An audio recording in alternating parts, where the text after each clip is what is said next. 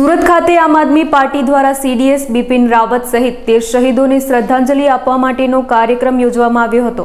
પીપલોદથી કારગિલ ચોક સુધીની યાત્રા કાઢીને શહીદોને શ્રદ્ધાંજલિ આપવામાં આવી હતી. ચોપર દુર્ઘટનામાં સૈન્ય વડા સહિતના જાબાઝ ઓફિસરો શહીદ થયા છે. ખૂબ જ પરાક્રમી અને ભારત માતાની સેવાનું એકમાત્ર ધ્યેય લઈને દેશને સમર્પિત થયેલા બિપિન રાવતનું નિધન થતાં સમગ્ર દેશની અંદર શોકનું મોજું ફરી વળ્યું હતું.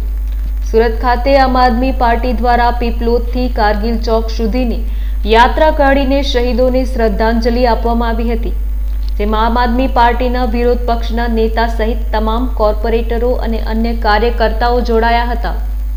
ગઈકાલે આપણા દેશની અંદર એક બહુ દુઃખદ ઘટના ઘટિત થઈ ગઈ. આપણા દેશના પ્રથમ સીડીએસ શ્રી બિપિન રાવતજી, એમના ધર્મપત્ની અને અગિયાર જવાનોથી ભરેલું એક હેલિકોપ્ટર, એક દુર્ઘટનાના કારણે ક્રેશ થયું અને એ અકસ્માતમાં આપણા પ્રથમ સીડીએસ એમના ધર્મપત્ની અને અગિયાર જવાનો શહીદ થઈ ગયા. એ નિમિત્તે આમ આદમી પાર્ટી સુરત શહેર દ્વારા તમામ નગરસેવકો, પદાધિકારી, કાર્યકર્તાઓની એક કેન્ડલ માર્ચ યોજવામાં આવી. આ કેન્ડલ માર્ચ એસવી એનઆઈટી કોલેજથી નીકળી અને કારગિલ ચોક સુધી ગઈ.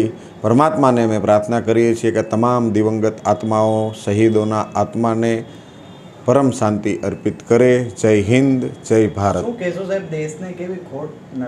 આપણા દેશની એક બહુ મોટી આ એક ખોટ પડી છે કે આપ અલગ અલગ પોસ્ટો ઉપર રહી અને દેશની બહુ મોટી સેવા કરનારા આવા પ્રથમ આપણા સીડીએસ હતા કે જેમણે અલગ અલગ પોસ્ટ ઉપર રહી અને કર્તવ્ય નિષ્ઠા સાથે ખૂબ જ મોટી જવાબદારી આર્મીમાં નિભાવી છે. અગિયાર જવાનો શહીદ થઈ જવા એટલે આપણા દેશ માટે બહુ મોટી ખોટ છે. એ તમામ માતા પિતાઓને એમના ઘરના સ્વજનોને પણ પરમાત્મા આ દુઃખ સહન કરવાની શક્તિ આપે એવી પરમાત્માને હું પ્રાર્થના કરું છું.